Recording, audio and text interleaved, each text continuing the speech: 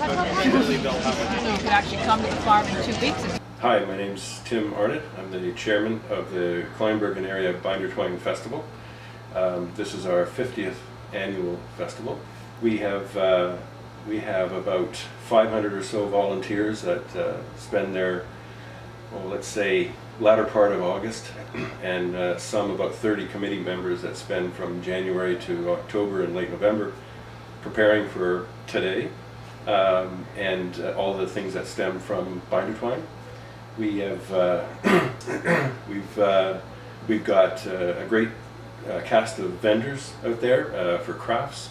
We've got great food and great entertainment actually going on behind us at the main stage. We've got three really good entertainers actually starting about now that'll take us through to about uh, 4.30, 5 o'clock.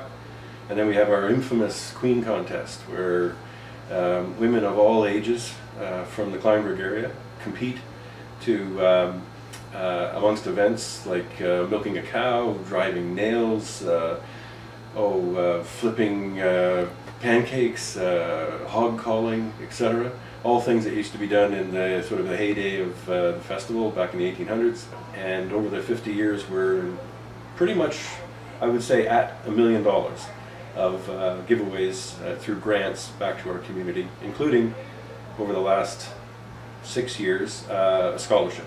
So uh, two, uh, usually two um, people that are graduating from high school and going on to some other kind of post-secondary education get a grants of up to about two thousand or scholarships I should say of about two thousand dollars each.